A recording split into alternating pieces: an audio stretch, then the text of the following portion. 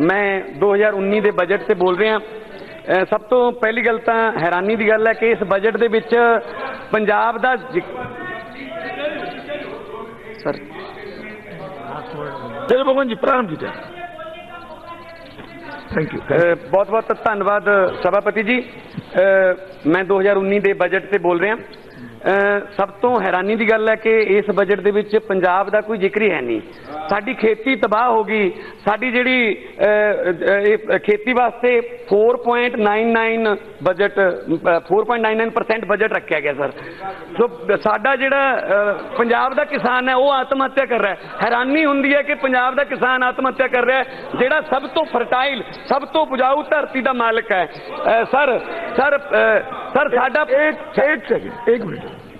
भगवंत मान जी के भाषण पूर्ण होने तक हाँ, सदन सदन को बढ़ा देते ठीक है, तब तक के लिए जी सर बस हाँ ਸਰ ਸੰਖੇਪ ਕੀ? ਸਾਡਾ ਜਿਹੜਾ ਪਾਣੀ ਹੈ ਧਰਤੀ ਦਾ ਪੰਜਾਬ ਦਾ ਉਹ ਬਹੁਤ ਲੈਵਲ ਉਹਦਾ ਥੱਲੇ ਚਲਾ ਗਿਆ ਆਉਣ ਵਾਲੇ 10-15 ਦਿਨਾਂ 'ਚ ਇਹ ਕਿਆਸ ਰਾਈਆਂ ਲਾਈਆਂ ਜਾ ਰਹੀਆਂ ਨੇ ਅੰਦਾਜ਼ੇ ਲਾਏ ਜਾ ਰਹੇ ਨੇ ਕਿ ਅਸੀਂ ਮਾਰੂਸਾਲ ਹੋ ਜਾਊਗਾ ਡੈਜ਼ਰਟ ਬਣ ਜਾਊਗਾ ਸੋ ਪਵਨ ਗੁਰੂ ਬਾਣੀ 'ਚ ਲਿਖਿਆ ਪਵਨ ਗੁਰੂ ਪਾਣੀ ਪਿਤਾ ਮਾਤਾ ਧਰਤ ਮਹਤ ਪਵਨ ਹਵਾ ਪਵਨ ਨੂੰ ਜਿਹੜੀ ਹਵਾ ਨੂੰ, ਗੁਰੂ ਦਾ ਦਰਜਾ, ਪਾਣੀ ਨੂੰ, ਪਿਤਾ ਦਾ ਦਰਜਾ, ਧਰਤੀ ਨੂੰ, ਮਾਤਾ ਦਾ ਦਰਜਾ। ਪਰ ਬਦਕਿਸਮਤੀ ਨਾਲ ਅਸੀਂ ਇਹ ਤਿੰਨੋਂ ਦਰਜੇ ਕਾਇਮ ਨਹੀਂ ਰੱਖ ਸਕੇ। ਸਾਡੀ ਹਵਾ ਜ਼ਹਿਰੀਲੀ ਹੋ ਗਈ, ਸਾਡੀ ਧਰਤੀ ਜਿਹੜੀ ਆ ਉਹ ਜ਼ਹਿਰੀਲੀ ਹੋ ਗਈ ਰਸਾਇਣਿਕ ਖਾਦਾਂ ਨਾਲ। ਸਾਡਾ ਪਾਣੀ ਪੀਣ ਯੋਗ ਨਹੀਂ ਰਿਹਾ।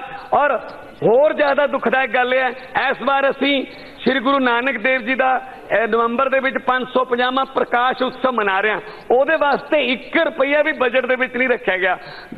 ਜਿਹੜੇ ਗੁਰੂ ਨਾਨਕ ਦੇਵ ਜੀ ਜਿਹੜੇ ਨੇ, ਉਹ ਉਹ ਕਿਸੇ ਇੱਕ ਸਮੁਦਾਇ ਦੇ ਜਾਂ ਸਿੱਖਾਂ ਦੇ ਗੁਰੂ ਨਹੀਂ ਸੀ। ਉਹ ਜਗਤ ਗੁਰੂ ਸੀ। ਸਰਬੱਤ ਦਾ ਭਲਾ ਮੰਗਣ ਵਾਲੀ ਬਾਣੀ ਉਹਨਾਂ ਨੇ ਲਿਖੀ ਹੈ। ਪ੍ਰਧਾਨ ਮੰਤਰੀ ਉੱਥੇ ਜਾਣਗੇ। ਪ੍ਰਧਾਨ ਮੰਤਰੀ ਪੰਜਾਬ ਜਾਣਗੇ। ਪਰ ਪ੍ਰਧਾਨ ਮੰਤਰੀ ਦੇ ਜਾਣ ਦਾ ਖਰਚਾ ਵੀ ਸਾਨੂੰ ਪਊਗਾ। ਹਾਲਾਂਕਿ ਨਾਨਕ ਲੇਵਾ ਜਿਹੜੇ ਨੇ, ਜਿਹੜੇ ਨਾਨਕ ਲੇਵਾ ਨੇ, ਉਹ ਇਸ ਚੀਜ਼ ਦੇ ਮੁਹਤਾਜ ਨਹੀਂ ਹੈਗੇ ਕਿ ਅਸੀਂ ਕੁਝ ਮੰਗੀਏ।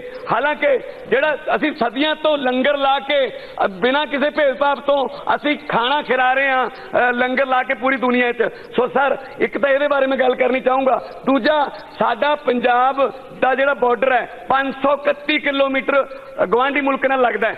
5 ਏਕੜ ਦਾ ਜਿਹੜੀ ਪੱਟੀ ਹੈ, ਉਹ ਸਾਥੋਂ ਲਈ ਹੋਈ ਹੈ। ਯਾਨੀ ਕਿ ਲਗਭਗ 2600 ਏਕੜ ਸਾਡੀ ਜ਼ਮੀਨ ਲਈ ਹੋਈ ਹੈ। ਸੋ ਉਧਰੋਂ ਸਾਨੂੰ ਗਵਾਂਢੀ ਮੁਲਕ ਵੱਲੋਂ ਸਿਰਫ ਮੌਤ ਆਉਂਦੀ ਹੈ। ਚਾਹੇ ਬੁਲਟ ਦੀਆਂ ਗੋਲੀਆਂ, ਚਾਹੇ ਡਰੱਗ ਦੀਆਂ ਗੋਲੀਆਂ। ਸੋ ਸਾਨੂੰ ਕਿਸੇ ਸਪੈਸ਼ਲ ਜ਼ੋਨ ਦੇ ਵਿੱਚ ਲਿਆ ਜਾਵੇ। ਨੰਬਰ 2 ਤੇ ਅਖੀਰ ਦੇ ਵਿੱਚ ਮੈਂ ਸਰ ਆਖਰੀ ਓਵਰ 'ਚ ਮੌਕਾ ਮਿਲੇ ਦੋ ਛੱਕੇ ਹੋਰ ਲਾ ਲੈਣ ਦਿਓ ਜੀ।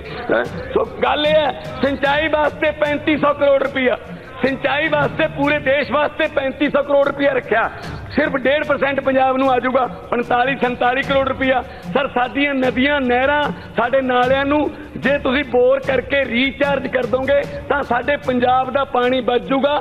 ਜਿਸ ਸੂਬੇ ਦਾ ਨਾਮ ਪਾਣੀਆਂ ਤੇ ਹੈ, ਉਹ ਸੂਬਾ ਪਾਣੀ ਨੂੰ ਤਰਸ ਰਿਹਾ ਹੈ। ਆਖਰ ਦੇ ਵਿੱਚ ਮੈਂ ਕਹਿਣਾ ਚਾਹੂੰਗਾ ਕਿ ਸਾਡੇ ਕੋਲੇ ਫੂਡ ਪ੍ਰੋਸੈਸਿੰਗ ਮਿਨਿਸਟਰ ਹੈਗੀ ਹਰਸਿਮਰਤ ਕੌਰ, ਪਰ ਫੂਡ ਪ੍ਰੋਸੈਸਿੰਗ ਹੈ ਨਹੀਂ ਸਾਡੇ ਕੋਲੇ। ਜੇ ਫੂਡ ਪ੍ਰੋਸੈਸਿੰਗ ਸਾਡੇ ਕੋਲ ਇੰਡਸਟਰੀ ਆ ਜਾਏ ਪੰਜਾਬ ਦਾ ਕਿਸਾਨ ਖੁਸ਼ਹਾਲ ਹੋ ਜਾਊਗਾ। ਤੁਸੀਂ ਮੈਨੂੰ ਮੌਕਾ ਦਿੱਤਾ। ਬਹੁਤ ਬਹੁਤ ਧੰਨਵਾਦ सभा